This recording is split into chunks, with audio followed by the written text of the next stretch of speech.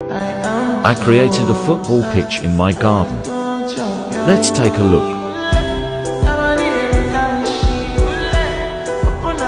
This is where I will do my coaching. I even installed floodlights for night sessions.